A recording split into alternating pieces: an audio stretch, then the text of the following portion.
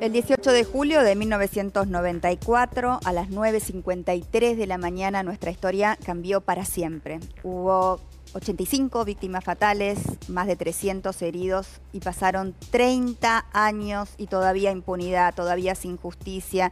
Todavía no solamente seguimos llorando esas muertes, sino preguntándonos quién hizo esto, cómo se hizo esto y por qué no hay justicia. Estamos con Adrián Furman, que es un sobreviviente de ese día, de esa tragedia sobreviviente en un aspecto, ¿no? Pero en otro también una víctima, perdiste a tu hermano. Ahí me gustaría, Adrián, conozco, tu historia, que, nos cuentes primero qué representa para vos el día de hoy, el 18 de julio, ¿no? Bueno, el día de hoy no sé si hay grandes diferencias con otros 18 de julio, contra, con otros días de mi vida. Desde hace 30 años, desde que pasó el atentado, todos los días de mi vida están marcados por el atentado a la AMIA, por la muerte de mi hermano, por la muerte de amigos, eh, la pérdida de, compañeros. No pasa un solo día desde, esa fecha que no, que no me acuerdo lo que pasó, no me acuerdo de mi hermano, más de una vez por día.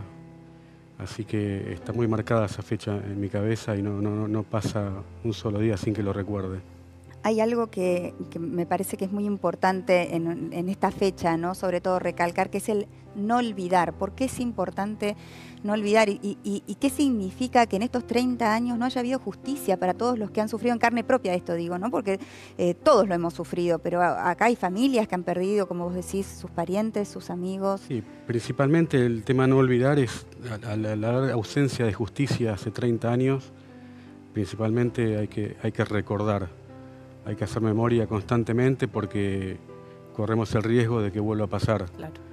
Eh, si la justicia no actúa, eh, es así, eh, ponemos todos los días en juego que, pase de nuevo. la impunidad logra eso. Exacto, ese efecto corrosivo que hace el olvido. Adrián, ¿cómo fue ese 18 de julio? ¿A qué hora entraste? ¿Vos trabajabas en qué sector en la AMIA? Yo entraba a trabajar a las 8 de la mañana a la oficina de personal. Mi hermano trabajaba en, la, oficina de Sepelios. Él entraba a las 7, una hora antes. ¿Hermano menor? Hermano mayor. Yo soy el menor de los hermanos. Ese día, como todos los días, entré a trabajar a las 8. Yo tenía la costumbre de, a eso de las 9 de la mañana, subir al cuarto piso. Él trabajaba en el cuarto, yo trabajaba en el segundo. Subí al cuarto piso a saludarlo, a tomar un café, a charlar ese día lo hice también, habré subido nueve, nueve y cuarto. Estuve con él, con sus compañeros. La, AMIA era, lo lindo de AMIA era una gran familia. Eh, todos los compañeros de trabajo, además de ser compañeros y, vernos adentro de la institución, nos veíamos afuera. Habíamos formado un grupo de amigos que compartíamos eh, familias, salidas, vacaciones, un montón de cosas. Así que estuve con él hasta las nueve y media aproximadamente. Muy poquito antes. Sí. Y cuando decidí bajar a mi, mi oficina para seguir trabajando, y ya, ya en, mi escritorio a las 9.53 siento una gran explosión. Eh, se movió todo el piso, eh, un ruido muy fuerte. ¿Se rompió eh, el lugar donde estabas? sí, sentimos como, como, caían pedazos de techo, volaban vidrios, el ambiente se llenó de un humo blanco muy denso. ¿Qué pensaste? ¿Qué, cuál, fue la, primera cosa que pensaste que había pasado? En ese momento no, tenía ni idea de lo que estaba pasando, no, lo asociaba en ningún momento con, la bomba. Lo que creí que pasaba, la AMIA estaba terminando unas reformas y estaban instalando esa semana un aire acondicionado central. Lo primero que pensé que se me pasó por la cabeza es que había explotado el equipo de aire acondicionado. Claro. Eh, cuando siento todo ese ruido, el humo, eh, los vidrios, eh, me tiré abajo de mi escritorio instintivamente. Esperé ahí un rato, no, puedo precisar cuánto, por ese momento el tiempo fue, fue eterno. Eh, esperé ahí, cuando el humo se disipó, eh, salí de mi escritorio, empezó a haber un poquito más de luz en el, lugar y con los compañeros del piso. ¿Estaban todos bien? Y éramos alrededor de 25 personas en el piso tratamos de organizarnos para, poder salir. No, entendíamos, nadie sabía lo que había pasado, nadie entendía. Fuimos para la parte de adelante, yo trabajaba en el segundo piso en el contrafrente. Sí. Tratamos de salir como siempre por el frente del edificio no se podía, había mucha oscuridad, había muchos escombros, eh, polvo, tierra, no, no se podía avanzar para adelante. Así que nos fuimos para la parte de atrás, que había un, patio, un balcón que daba al aire y luz, al pulmón de manzana. Salimos ahí al, aire y luz y entre todos empezamos a ayudarnos para, subir a, los techos, a ver si, podíamos salir por ahí. Eh, me acuerdo que había una, mujer con un bebé, que no sé, seguramente había ido a hacer un trámite a la AMIA y entre todos nos pasábamos el bebé de mano en mano para poder sacarlo. Ahí cuando subo al primer techo, me doy vuelta, miro hacia la calle Pasteur y ahí, ahí me di cuenta de lo que había pasado. Eh, vi, el frente, pues, vi, el frente de, los edificios de, enfrente de la AMIA, totalmente destruidos, una escena, una escena de guerra. Y cuando miro para la AMIA, el primer bloque donde tenía que estar mi hermano físicamente no estaba. Había desaparecido directamente. Había desaparecido completamente, estaba todo derrumbado. Entonces ahí eh, entró en juego mi papel de sobreviviente que en ese momento no me importó más, yo ya dejé de ser sobreviviente para ser eh, familiar de, Fabián. Mm. Lo único que me importaba era, encontrarlo a él, no, no, no, no, había otro tema en mi cabeza que, encontrarlo. Eh, y así, bueno, ya un ratito en el techo, cuando tomé conciencia de lo que había pasado, empezamos a, trepar por otros techos, a intentar bajar. Amia tenía otro edificio que daba a la calle Uriburu. Uriburu está en la primera paralela a Pasteur. Claro. Llegamos a ese edificio, bajamos a un patio y ya habían hecho un hueco en la pared que daba a la calle. Ahí pude salir a la calle. ¿Y fuiste para el lado donde estaba tu hermano a buscarlo? Ahí estaba en una confusión total, estaba en un estado de shock, que no, sabía para dónde ir, no sabía para dónde agarrar, no sabía qué hacer. Eh, sé que estuve un tiempo largo caminando por la calle sin rumbo. Como tanta otra gente, ¿no? Porque eh, eso fue, me parece, lo que le pasó a un montón de gente aturdida. Estaba con gente que me abrazaba, me preguntaba si estaba bien, yo no, respondía, no sabía qué, decir. Eh, así fui caminando hasta que llego, no sé si sin querer o queriendo hasta el negocio de mi tío que estaba a una cuadra de Lamia. Ahí me ve un empleado de él, me agarra y me mete adentro. Me, encuentro con mi tío. Al rato llegan mis padres, que apenas escucharon por la radio. Claro, tenían a sus dos hijos trabajando ahí, se fueron directo. mis padres estaban justo en, mi casa, eh, yo vivía con mis padres en ese momento. Cuando escuchan por la radio del atentado a la AMIA, eh, toman un taxi inmediatamente para ir a, la AMIA, llegan hasta Pueyrredón, no se podía avanzar más por el, caos que había, se bajan del taxi y empiezan a correr hasta, hasta Pasteur. Cuando llegan al negocio de mi tío, también no sé por qué razón fueron para ahí, se reencuentran conmigo, o sea, para ellos eh, eh, la mitad del problema estaba resuelto, había que, resolver la otra mitad. Eh, yo en un momento a la hora, hora y pico de haber salido, quise salir a buscarlo, a Fabián.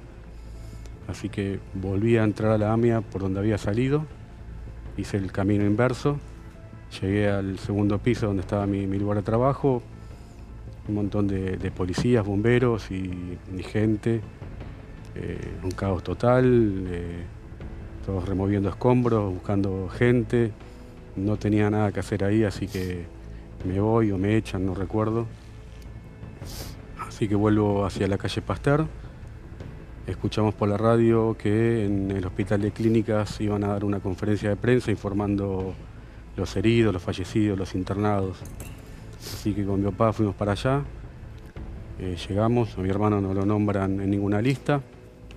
El tiempo pasaba, eh, se hacía de tarde, ya perdí la, noción del tiempo en ese momento. Yo creo que ya era pasado el mediodía y no, no, había, no había ningún rastro de mi hermano. Una persona viene y nos cuenta que lo había visto caminando por Callao y Córdoba, cosa que nunca fue verdad. Y se hacía la tarde, eh, no sabía qué hacer, no tenía nada que hacer ahí, no sabía dónde ir. Me agarra un, ataque de nervios, me dan un calmante y me llevan a mi casa. Y ahí pasé los próximos siete días, los siguientes siete días, esperando noticias. Siete días esperando. Sí. Eh, ¿No te decían si, había muerto en nada? No, no, no, no sabíamos nada. Eh, el atentado fue, fue el lunes a las 9.53, lunes 18. Yo esa semana estuve en mi casa toda la semana, no, no, quería salir, no quería... Tenían esperanza de encontrarlo todo. Sí, mientras no, no había noticias de, mi hermano, la esperanza estaba viva todavía. ¿Cómo se enteran? Eh, después de siete días, el lunes siguiente a la madrugada, suena el teléfono en casa y bueno, la noticia menos esperada de que encontraron el cuerpo de mi hermano junto a otro compañero, Norberto. Estaban los dos juntos, así que todo, toda esperanza que teníamos de, de poder llegar a encontrarlo con vida desaparece. Y ahí empieza la nueva historia de, qué hacemos a partir de, este momento, cómo, cómo, seguimos, cómo se sigue. ¿Cómo se sigue? Yo hasta ese momento decía que si mi hermano no aparecía, mi vida tampoco tenía sentido. Te sentías culpable, ¿no? Leí en alguna de las Mucho tiempo y ahora cada tanto también me siento culpable pensando por qué, por qué él y no yo. Yo había estado con él 15 minutos antes del atentado. Mm. Eh, ¿Por qué, qué, cosas del destino nos llevaron a, que él fuera asesinado y yo siga vivo? Eh, no, encuentro respuesta, no, no sé, no sé el por qué. La debes encontrar en tus hijos, la debes encontrar en todo lo, que eh, sembraste seguramente. Sí, sí, sí. Bueno, más adelante traté de seguir como, como pude, como podía siempre apoyado de, seres queridos, de familia, de amigos. Yo había empezado una relación en abril del 94. Muy poquito antes. Sí, con Cintia, que es la mamá de mis hijos. Mm. Eh, yo tengo dos hijos, Elian de 24 y Damián de 19. Eh, con Cintia estuvimos 20 años casados, después nos separamos, todo bien, en buenos términos. Ahora estoy de nuevo en pareja y yo siento que ahora mi deber es eh, que mis hijos sepan lo que pasó, que conozcan a, su tío de alguna manera, como todas las generaciones que, llegaron después del atentado. Seguro. escuché que hay 20 millones de argentinos que no habían nacido cuando pasó el atentado. Mm. O sea que nuestra tarea es eh, la memoria. La memoria. La memoria porque la justicia no llega y no creo que llegue.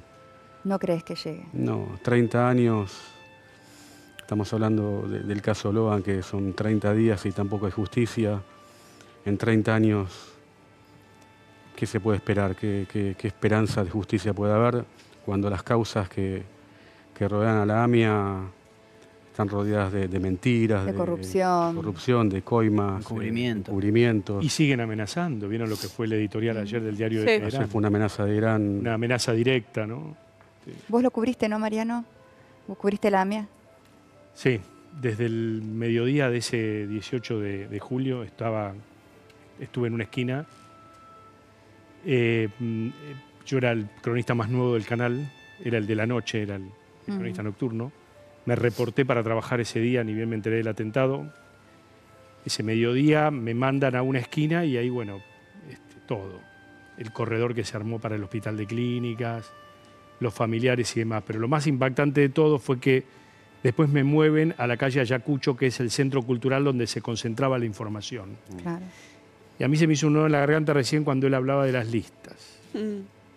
Lo difícil que es cuando viene un familiar y te pregunta, señor periodista, mi apellido está en la lista. y vos le tenés que decir que no está. Eso no me lo voy a olvidar nunca. Y hay por lo menos cuatro o cinco mamás esposas que venían llorando a preguntarme que todavía les recuerdo y las, veo al día de hoy entre los familiares y me acuerdo de esa mirada perdida de aquel, de aquel 18 mm. de julio. Después tuve cinco noches, las cinco noches en la búsqueda de sobrevivientes. Y recuerdo el rostro de Jacob. Mm. ¿Quién era Jacob? Es ese hombre que sobrevivió creo que tres días debajo de los escombros, que fue todo un récord. Jacob Chemahuel. Jacob. Lo vi llegar al hospital de clínica, cuando lo bajan de la ambulancia yo estaba con el micrófono y le veo el rostro, que después no sobrevivió por el aplastamiento, el síndrome de aplastamiento.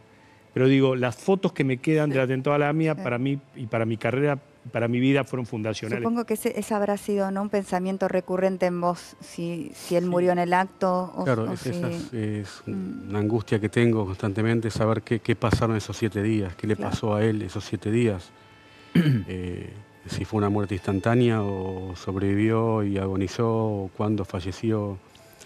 Las tareas de rescate eh, fueron durísimas, tanta gente tratando de ayudar, ¿no? Es como que veías el contraste de, de la solidaridad y del amor y el odio que había provocado ¿no? ese atentado, porque no hay que olvidar eso. Me parece que parte de nuestra memoria también es, eh, hablar de que este odio existe. pues lo que hay que saber que, que no fue un atentado contra los judíos, la comunidad judía. claro que no fue un atentado contra una institución judía, pero contra la comunidad argentina, contra toda la Argentina. Por eso el pedido de justicia no, no es, recién lo, hablábamos en producción, ¿no? cuando armábamos un informe, eh, no es el pedido de justicia de las familias, es el pedido de todos nosotros de justicia, ¿no? De todo, y, lo, digo con, emoción y con dolor, porque realmente eh, es, simbólico eh, que en un día como hoy no estemos todos de luto digamos, ¿no? es realmente un, día que... Se declaró un día, día de luto nacional, día de duelo nacional. Sí,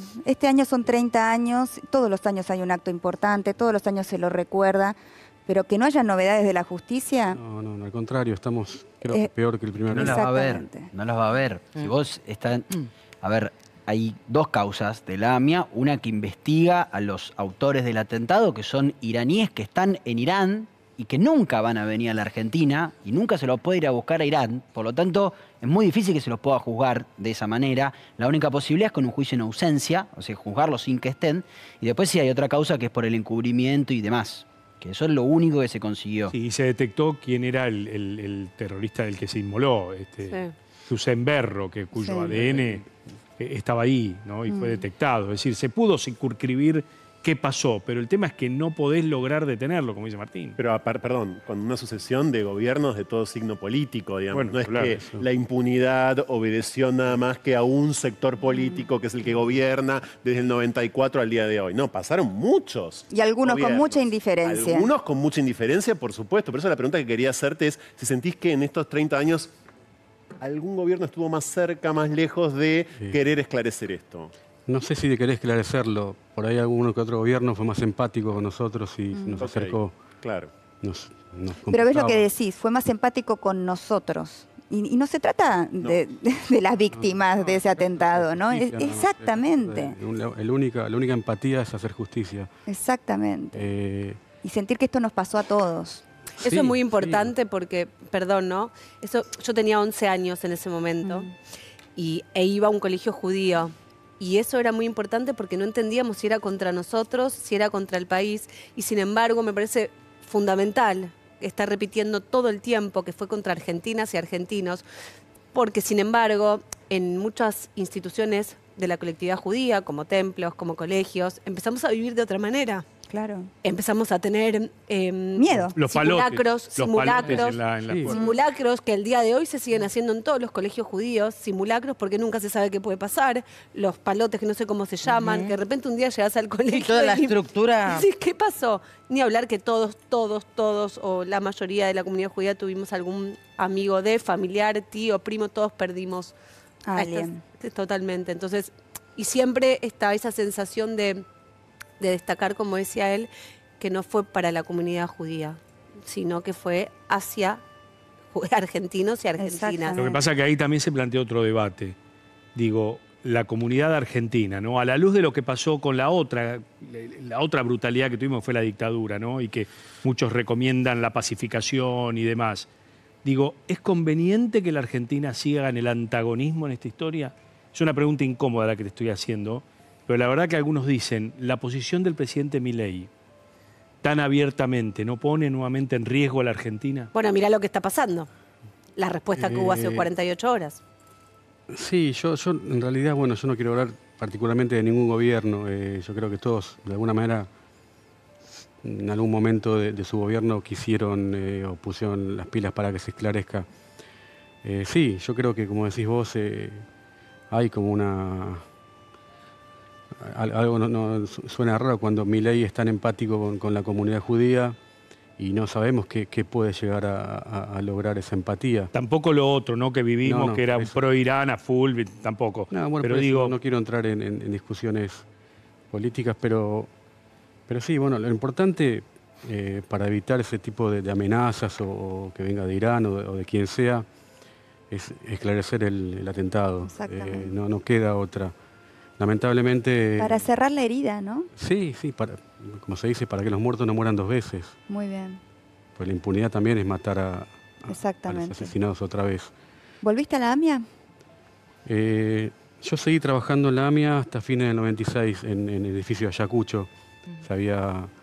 ahí se reconstruyó el funcionamiento de la AMIA.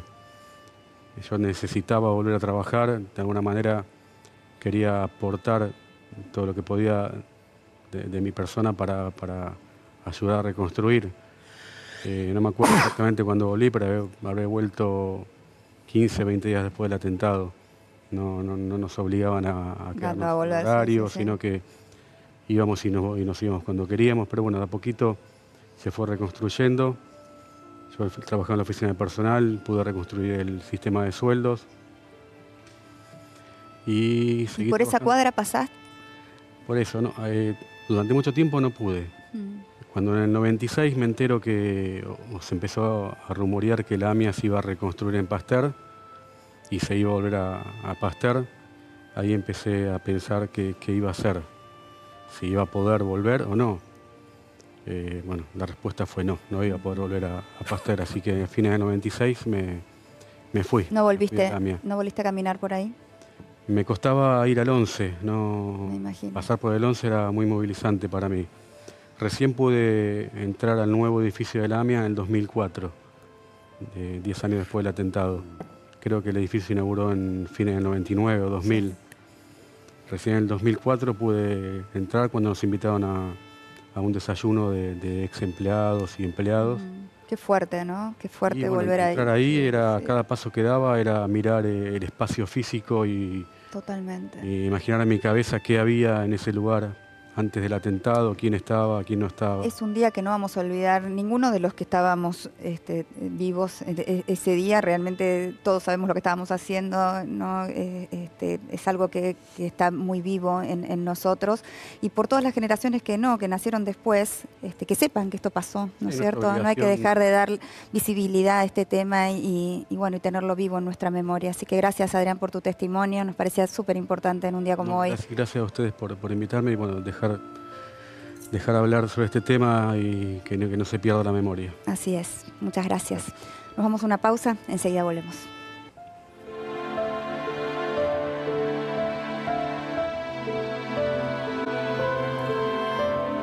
Estás en el 7.